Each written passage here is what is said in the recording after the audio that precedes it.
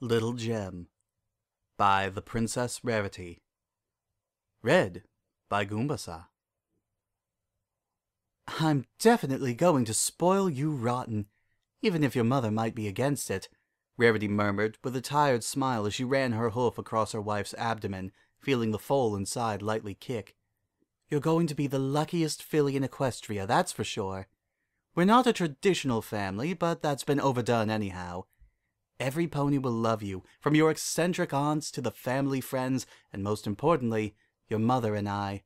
You're destined to be a hard worker, too. She hesitated and gave a low chuckle. Hopefully you'll find some time for the dress shop. No daughter of mine is going to spend all day with mud on her hooves. And you will definitely grow up to be beautiful, no makeup or other cosmetics needed. When you get older, all of the stallions and mares will be lining up around the block just to get a piece of you. She laughed. I'll do my best to keep your mother from shooting them.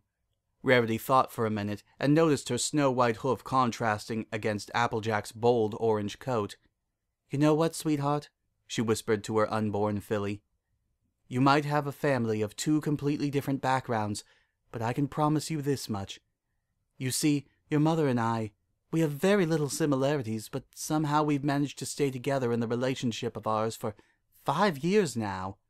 And when you're finally born, I know for a fact that your life will be the most wonderful mix ever. I have a feeling it could get chaotic, but you will love it.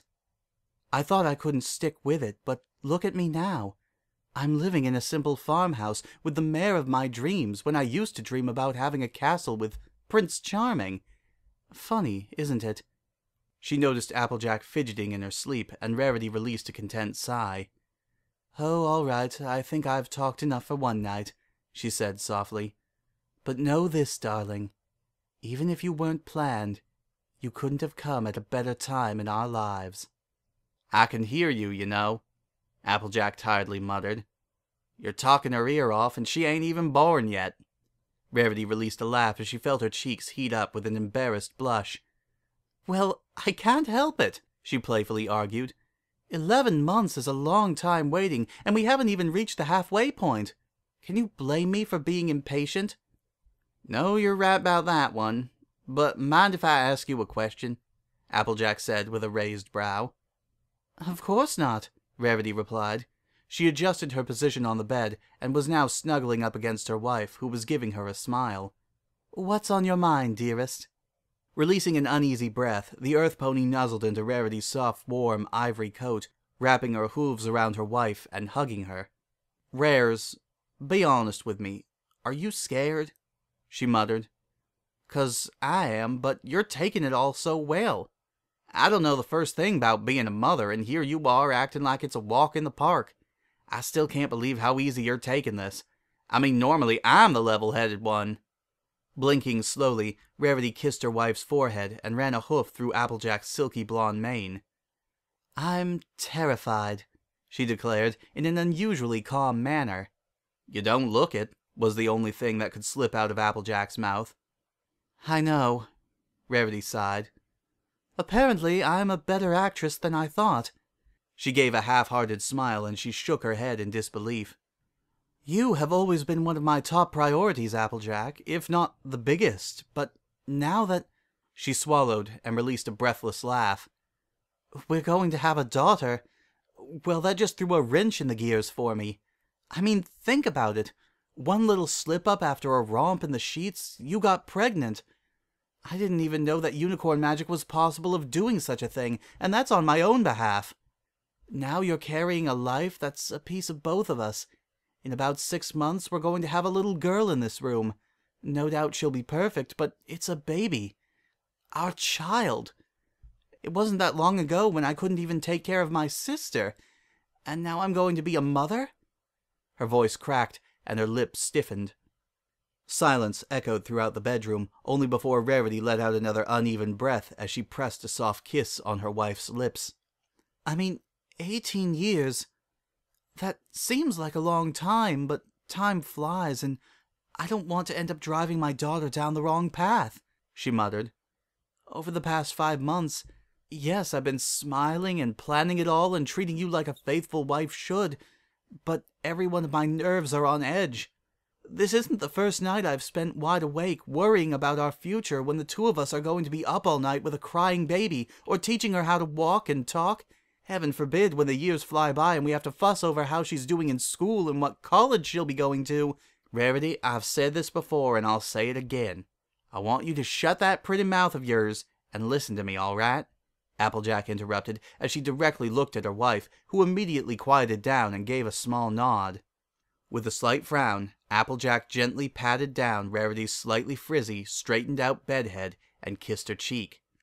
I love you, and being married to you is better than any happy ending you used to dream about. I never even thought I would be lucky enough to land some pony like you, but look at us. How many amazing things have we done together? We saved the world, traveled all over Equestria in your crazy fashion business, and now we're living the simple life, about to start a family. We got the best of both worlds, and even though you drive me batty sometimes, I wouldn't trade a thing, she said. So what if we didn't plan this baby? And sure, it ain't gonna be easy taking care of her on account of the fact that she'll be beyond stubborn. She gave a smirk to her wife, who let out a scoff. You're worse than I am, she teased.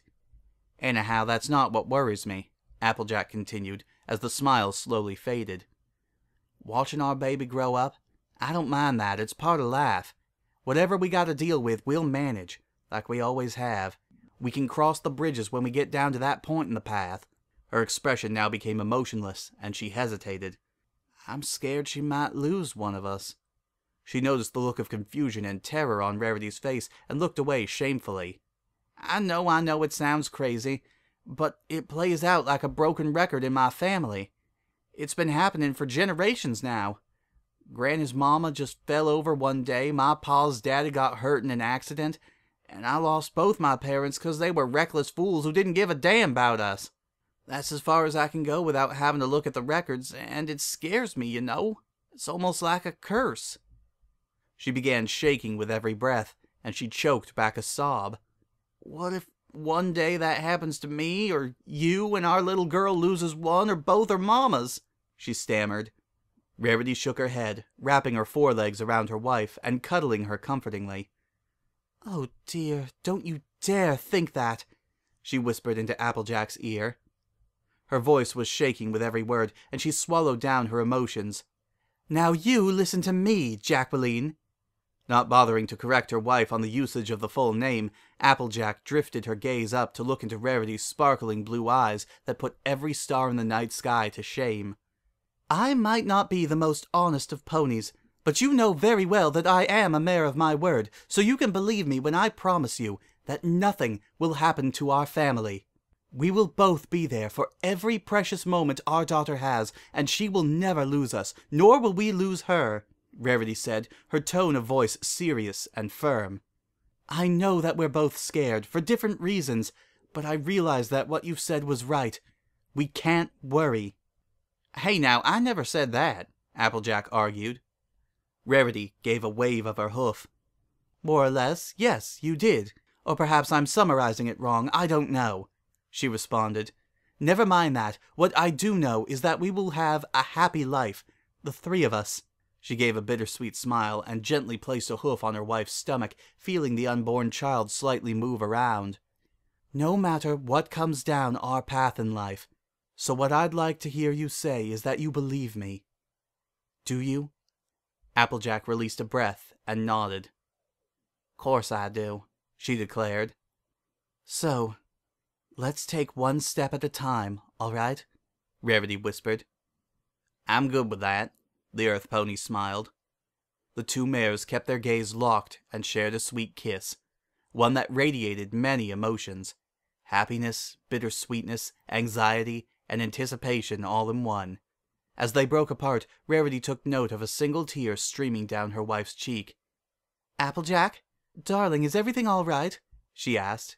The Earth Pony laughed and nodded, wiping it away. It's just that this is all kinda emotional, and these darn hormones are kicking in, she muttered. Rarity couldn't hold back her smile. Only six months, she said simply. And with that said, the two mares bestowed identical grins, cuddling up next to each other and intertwining in their embraces. They fell asleep soundly for the first night in a long time, with not a single worry in their minds. For once they were absolutely content. The future for them was undetermined, but love and hope was all they needed to have happiness. After all, if it had gotten them this far, then it would surely be a good compass for the rest of their adventure. The End